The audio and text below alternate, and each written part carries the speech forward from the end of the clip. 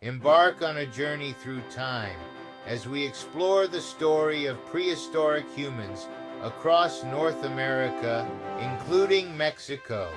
These ancient sites reveal the early evidence of human life on the continent, offering a glimpse into the cultures, lifestyles, and survival strategies that shape the history of the Americas.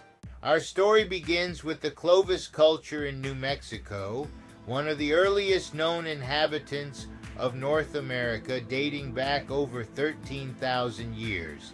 The Clovis culture is famous for its distinctive stone tools known as Clovis points, which were used for hunting large game such as mammoths.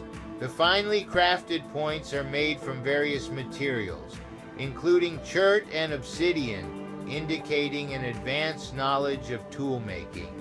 The significance of the Clovis culture lies in its widespread presence across North America, suggesting a rapid spread of human populations.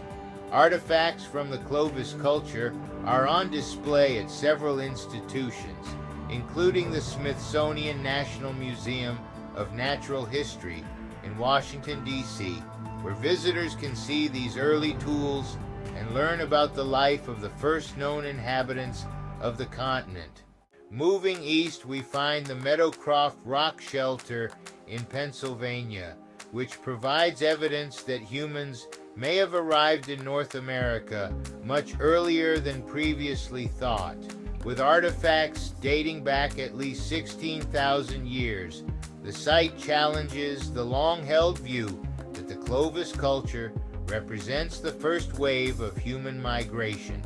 Excavations at Meadowcroft revealed tools, fire pits, and animal bones, offering insights into the diet and daily activities of these early inhabitants. The site itself is open to the public with the Meadowcroft Rock Shelter and Historic Village in Avella, Pennsylvania, featuring exhibits that display the artifacts and present reconstructions of prehistoric life. The debate over Meadowcroft's timeline continues to be a central topic in understanding the peopling of the Americas. Heading west to Colorado, the Lindenmeier site offers a fascinating look into the Folsom culture, which thrived around 12,000 years ago. The site contains an impressive array of tools and bones, revealing that early humans hunted bison and other large mammals. What sets Lindenmeier apart is the evidence of long-term habitation, indicating that these early people returned to the site seasonally.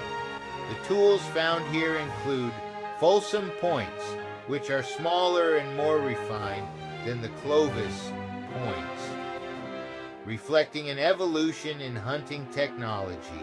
The Denver Museum of Nature and Science in Denver, Colorado houses artifacts from the Lindenmeier site, providing visitors with a glimpse into the adaptation strategies of humans during a time of significant climatic changes following the Ice Age. In Washington, the discovery of Kennewick Man along the banks of the Columbia River added a new chapter to the story of prehistoric humans in North America. This 9,000 year old skeleton is one of the most complete ancient remains found on the continent. Kennewick Man's discovery sparked debates about his origins, with various theories suggesting connections to different early human populations. His skeletal structure differs significantly from modern Native American populations, raising questions about early migration routes and cultural exchanges. Although the original remains were reburied in 2017, casts and reconstructions of Kennewick Man are displayed at the Burke Museum of Natural History and Culture in Seattle, Washington, where visitors can explore the scientific and cultural significance of this ancient individual. Texas is home to the Gault site, a location with evidence of human occupation stretching back over 16,000 years. Located near Austin, the Gault site has yielded an abundance of stone tools and cultural artifacts suggesting a long-term and diverse use of the area. Excavations have uncovered projectile points, scrapers, and other tools made from locally sourced chert. This site is significant not only for its age, but also for the variety of artifacts found, which indicate complex social and economic behaviors among early inhabitants. The Texas Memorial Museum in Austin, Texas features artifacts from the Gault site, offering a detailed look at the technological advancements of prehistoric humans in the region. One of the most iconic locations for prehistoric life in California is the La Brea Tar Pits, where human bones have been found alongside the remains of large Ice Age animals such as mammoths, dire wolves, and saber-toothed cats.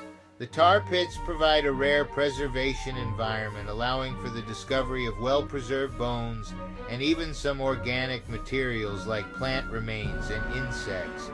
Evidence suggests that humans hunted the megafauna that roamed the Los Angeles basin around 10,000 years ago. The La Brea Tar Pits and Museum in Los Angeles, California showcases many of these finds, including a reconstructed mammoth skeleton and exhibits that explore the interactions between humans and Ice Age fauna. Turning to Mexico, the Tlapacoya archaeological site near Mexico City offers evidence of some of the oldest human habitation in the region, dating back approximately 21,000 years. Stone tools and animal remains found at the site suggest a hunter-gatherer lifestyle with possible butchering of large mammals. The findings at Tlapacoya challenge the traditional timeline of human migration into the Americas, suggesting an even earlier presence than previously recognized. The National Museum of Anthropology in Mexico City, Mexico features artifacts from Tlapacoya, providing insights into ancient life in the central Mexican plateau. Another significant location in Mexico is Cueva de la Golondrina in Chihuahua, where stone tools and other artifacts date back to about 12,000 years ago. The cave was used by early humans for shelter and hunting activities, with evidence of tool making and possible seasonal habitation. The artifacts discovered include scrapers, projectile points, and other implements that suggest a well-adapted group of people capable of surviving in the rugged terrain of northern Mexico. These artifacts are displayed at the Museo Regional de Chihuahua in Chihuahua, Mexico where visitors can learn about the region's deep prehistoric roots. In the far north, Bluefish Caves in the Yukon offers some of the earliest evidence of human activity in North America, dating back approximately 24,000 years.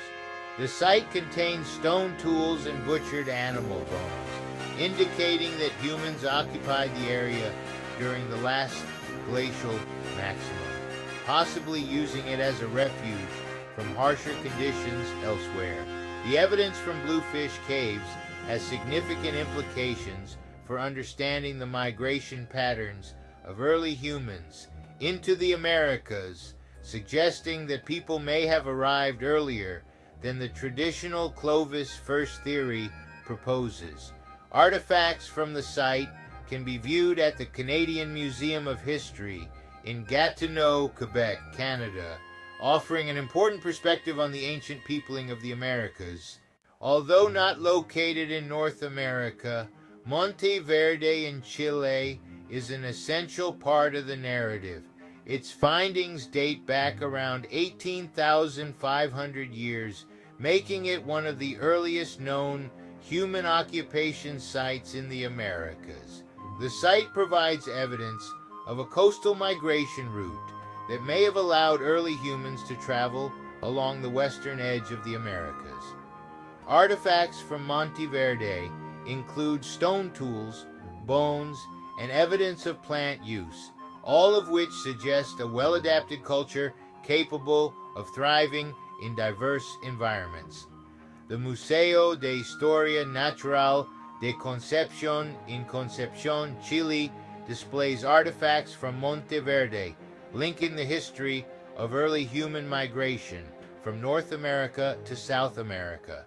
These 10 locations paint a vivid picture of prehistoric human life in North America and beyond, illustrating the resilience and adaptability of early cultures in the face of changing climates and environments. Each site offers a unique window into the lives of our ancient ancestors, helping us understand the complex history of human settlement across the continent.